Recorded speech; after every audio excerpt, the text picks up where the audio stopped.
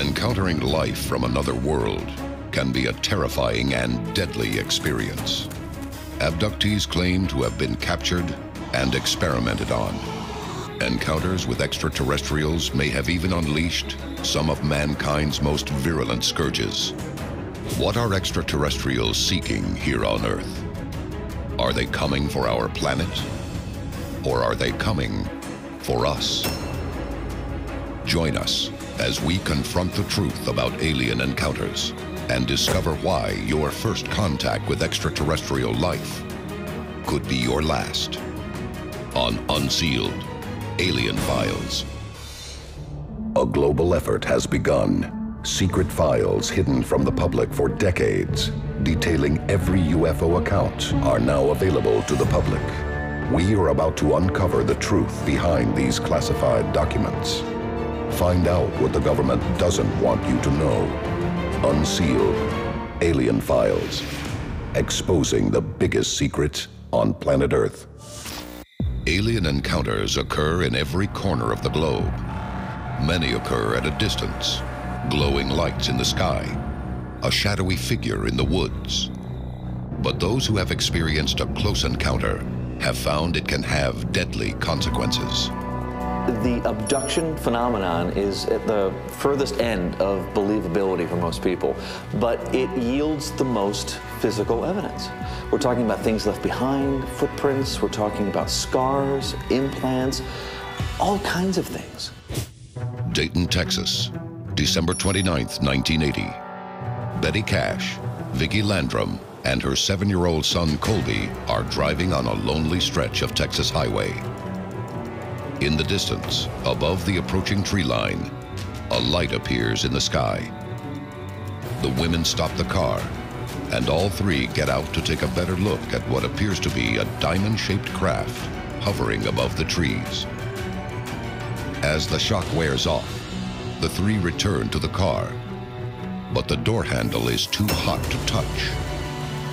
The craft suddenly emits a beam of light directly at the car catching Betty Cash, Vicki Landrum, and her son Colby in its intense heat. The three are frozen with terror until a deafening sound splits the night air as military helicopters suddenly appear and chase the UFO off into the night.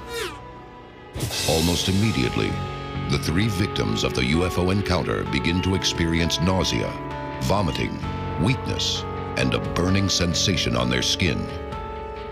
Betty Cash suffers the worst, losing patches of hair and skin. She is admitted to the hospital on January 3, 1981, where she remains for 15 days. An examination by a radiologist determines the three were exposed to high doses of ionizing radiation. What was a UFO doing hovering over a desolate Texas forest? And why did it attack three people without provocation. Perhaps the most disturbing of all is the response by the American military. How could they have responded so quickly and with such force unless they were already prepared for just such an encounter?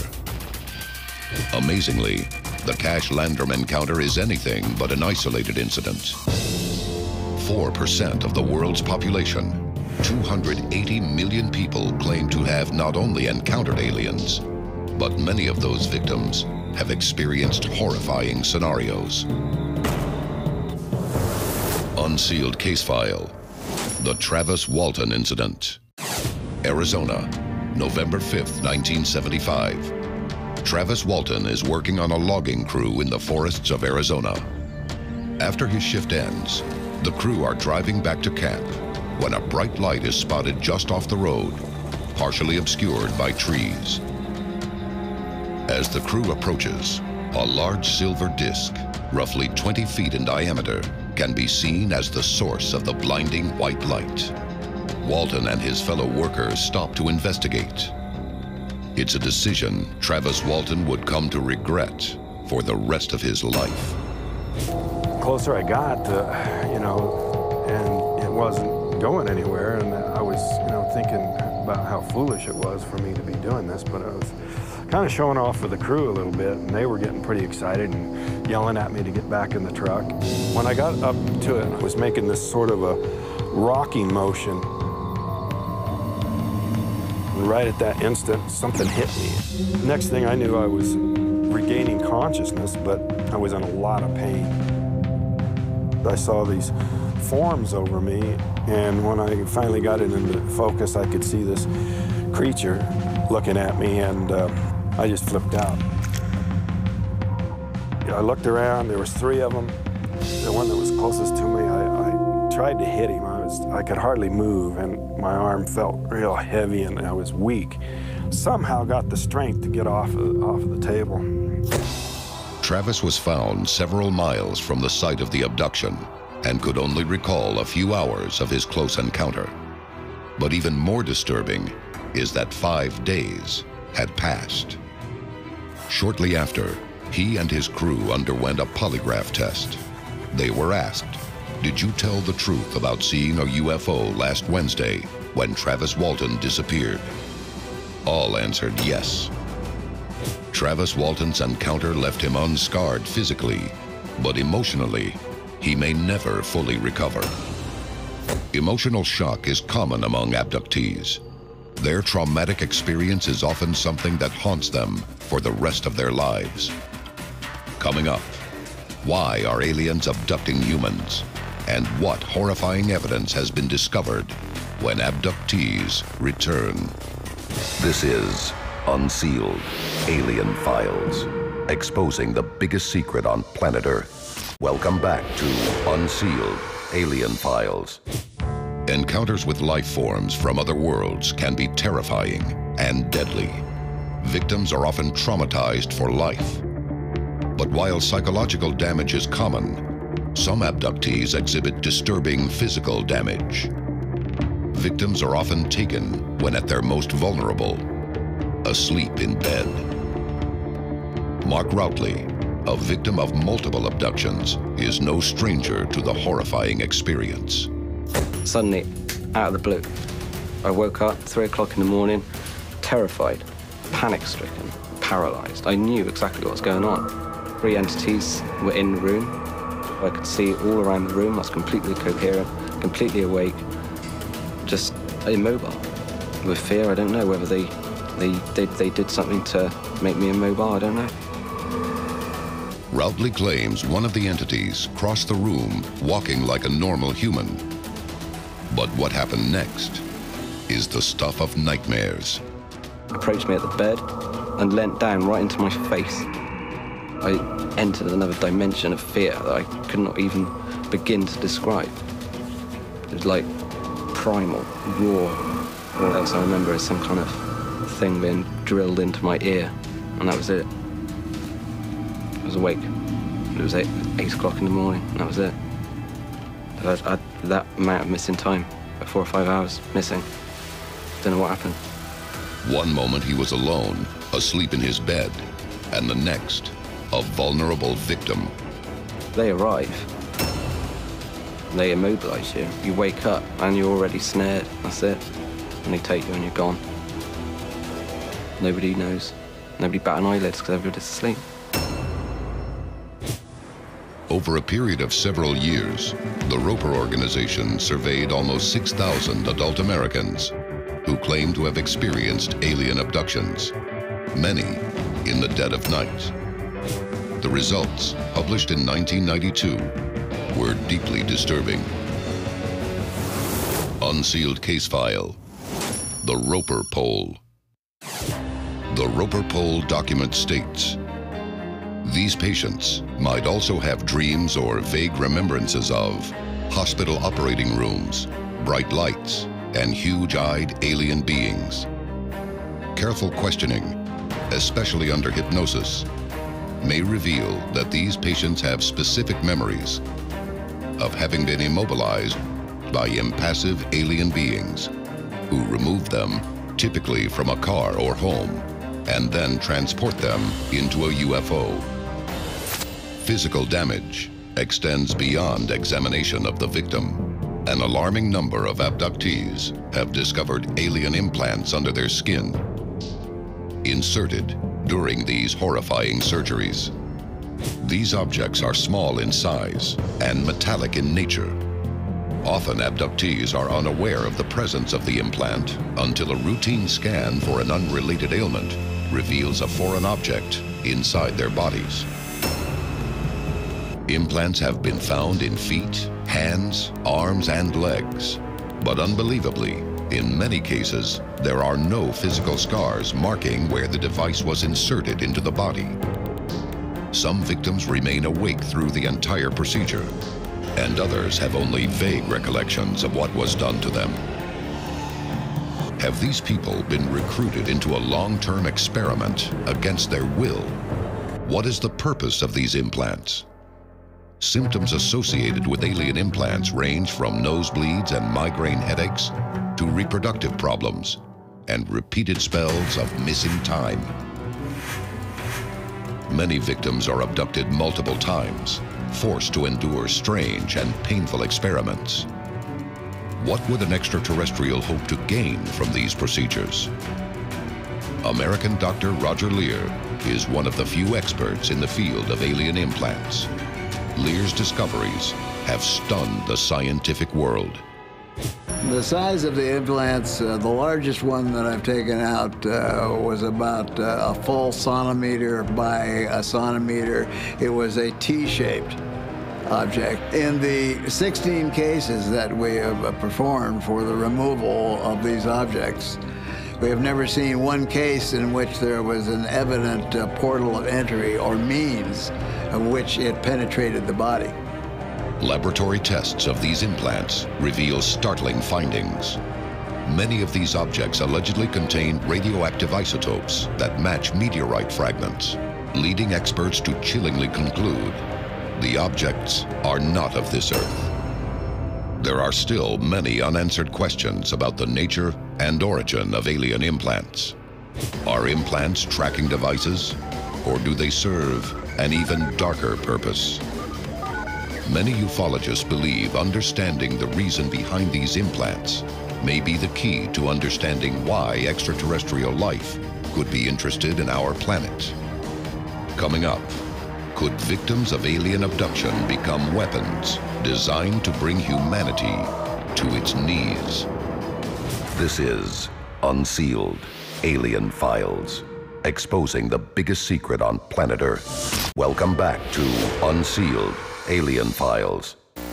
H.G. Wells's book, War of the Worlds, is a tale of the invasion of Earth by a race of aliens from Mars. In the end, the salvation of mankind is a small virus.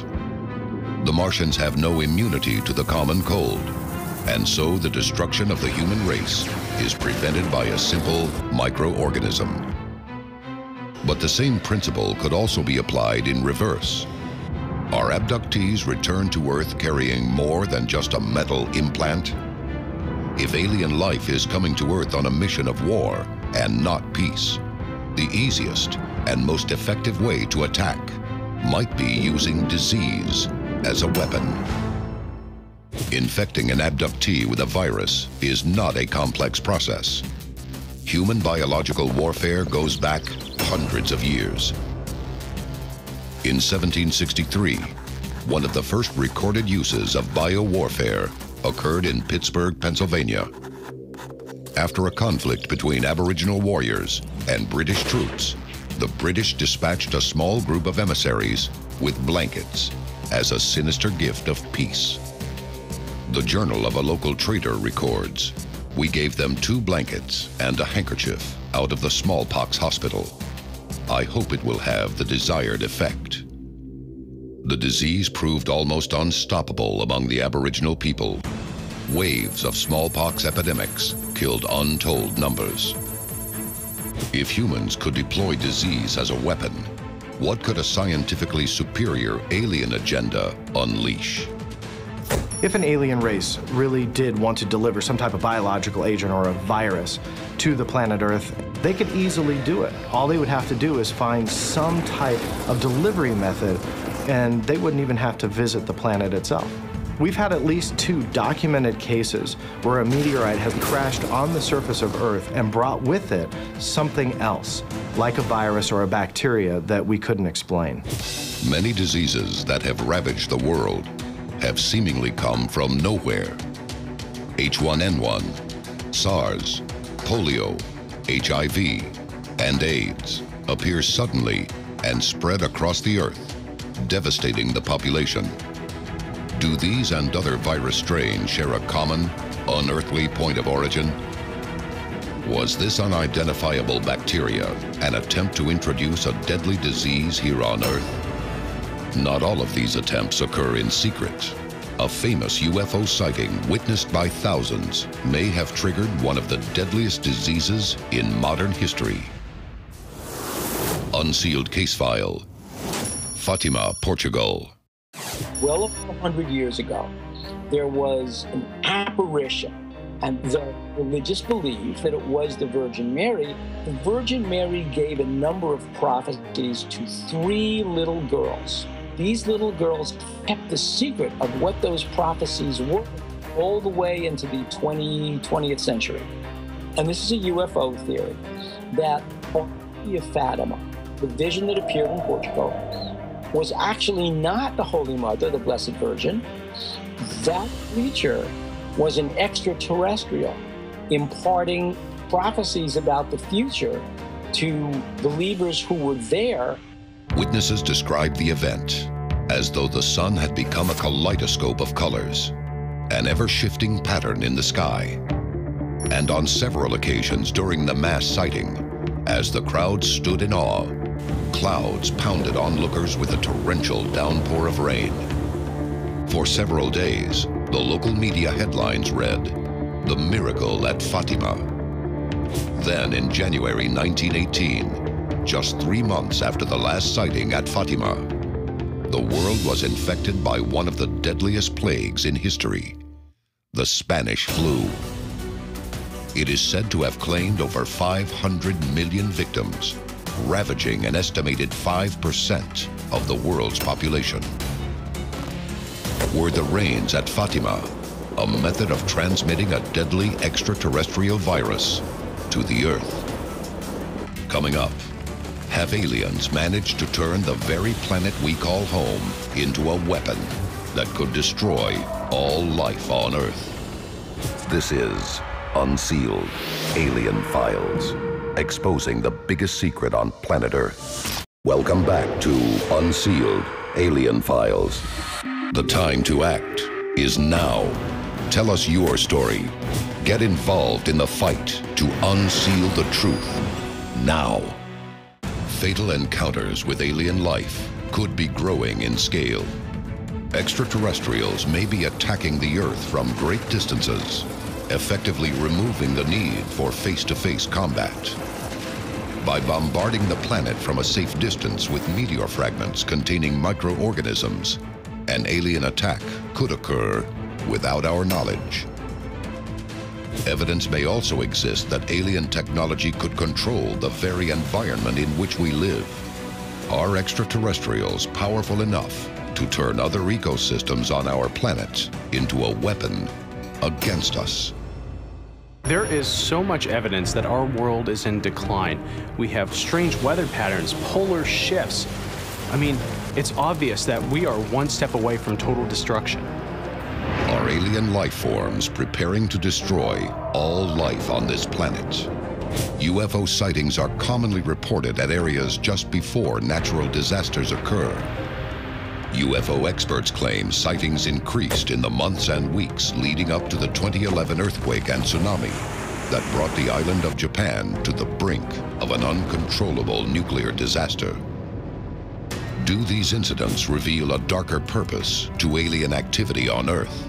And is there any way we can survive if even Mother Nature is at the mercy of alien control?